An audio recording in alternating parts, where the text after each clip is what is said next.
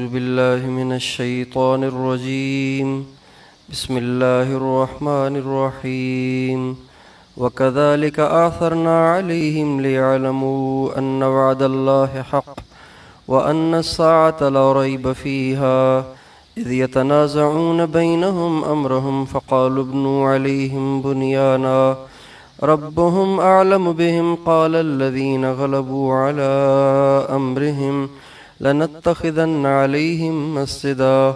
سيقولون ثلاثة رابعهم كلبهم ويقولون خمسة, خمسة سادسهم كلبهم رجما بالغيب ويقولون سبعة وثامنهم كلبهم.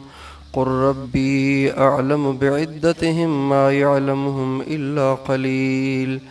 فلا تمار فيهم إلا مراء ظاهرا. ولا تستفت فيهم منهم أحدا ولا تقولن لشيء إني فاعل ذلك غدا إلا أن يشاء الله. واذكر ربك إذا نسيت وقل عسى أن يهديني ربي أن يهديني ربي لأقرب من هذا رشدا. ولبثوا في كهفهم ثلاثمائة سنين وازدادوا تسعا.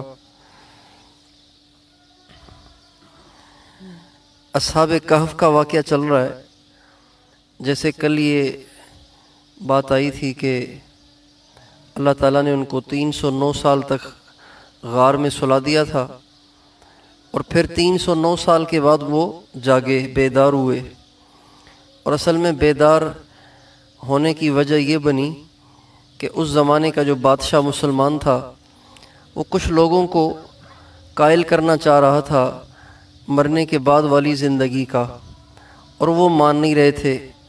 تو وہ بادشاہ بہت رویا اللہ کے سامنے کہ اے اللہ، ایسی کوئی نشانی ظاہر فرما کہ جس سے یہ لوگ سمجھ جائیں کہ مرنے کے بعد بھی تجھے اٹھانے کی قدرت حاصل ہے۔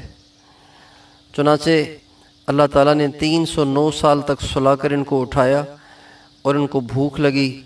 تملیخہ کو انہوں نے کھانا لینے کے لیے بھیجا، سکے پرانے لے کر آیا اور لوگوں نے لوگوں نے ان کو اچھا بادشاہ کے پاس لے کر گئے اور یوں یہ راز فاش ہوا اور لوگ سمجھے کہ بے شک جو اللہ تین سو نو سال تک بغیر کھائے، پیے، زندہ رکھ سکتا ہے اتنی لمبی نیند سلا سکتا ہے اور پھر اٹھا سکتا ہے، تو وہ اللہ اس پہ بھی قادر ہے کہ مرنے کے بعد دوبارہ زندگی عطا فرمائے۔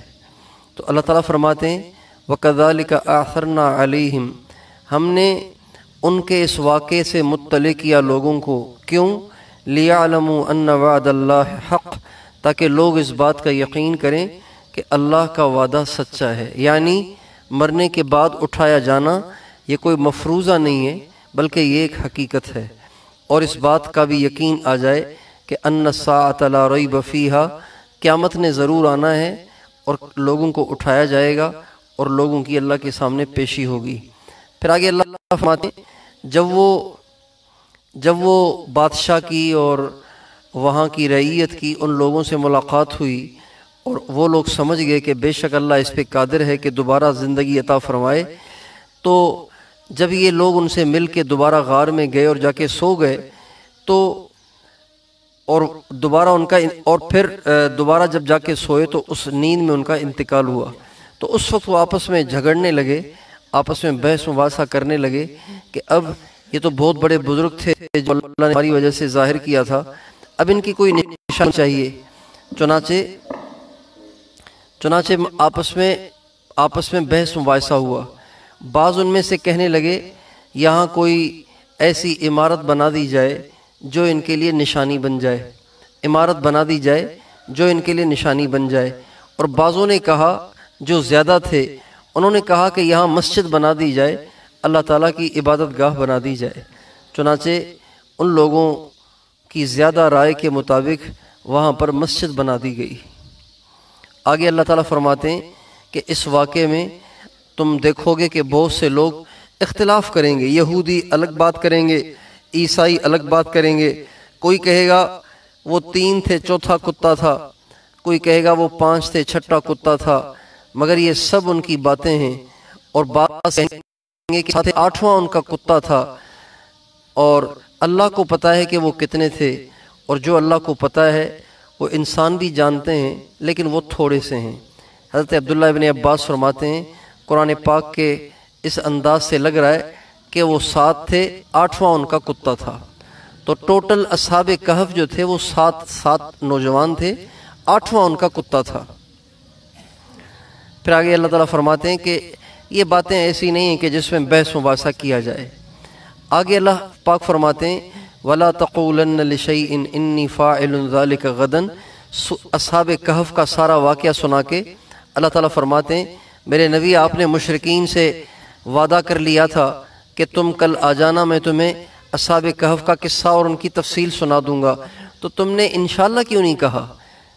اسی وجہ سے پندرہ دن تاخیر ہوئی اور پھر مشرقین مکہ کو باتیں بنانے کا موقع ملا۔ آگے اللہ فرماتے ہیں، اب ہم نے آپ کو قصہ تو سنا دیا ہے، لیکن آپ آئندہ اس کا خیال رکھیں کہ ہرگز ہرگز کبھی کوئی ایسی بات مت کریں جس میں انشاءاللہ نہ ہو۔ دو دفعہ اللہ نے ہمارے نبی کو سختی سے روکا کہ ہرگز ہرگز آپ کبھی ایسی بات نہ کریں کہ جس میں کوئی بات کہہ بھی دیں اور انشاءاللہ بھی نہ کہیں۔ تو ہم مسلمانوں کو چاہیے کہ جب کبھی بھی کوئی بات کریں تو دل سے بھی اس کا یقین رکھیں کہ اللہ چاہے گا تو ہوگا، اللہ نہیں چاہے گا تو نہیں ہوگا۔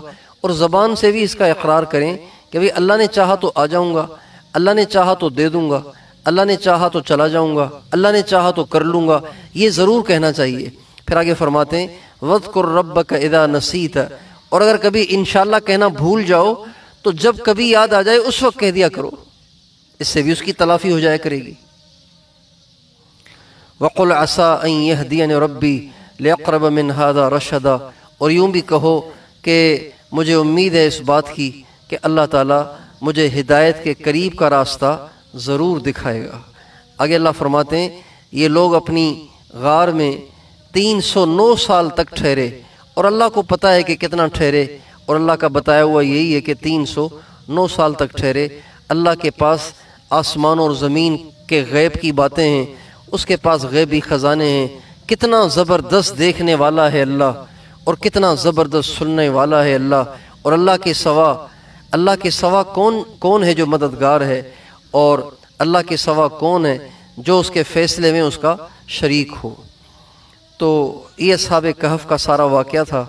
کل انشاءاللہ اصحاب کہف کے اس واقعے سے ہمیں کیا کیا سبق ملتے ہیں، ہمیں کیا کیا باتیں سمجھائی گئی ہیں، انشاءاللہ اس اس کے متعلق بات ہوگی۔ اللہ تعالی ہم سب کو عمل کرنے کی توفیق عطا فرمائے۔ لا الہ الا انت سبحانک، انی کنت من الظالمین۔ سیدنا محمد وعلى آل سیدنا محمد وبارک وسلم۔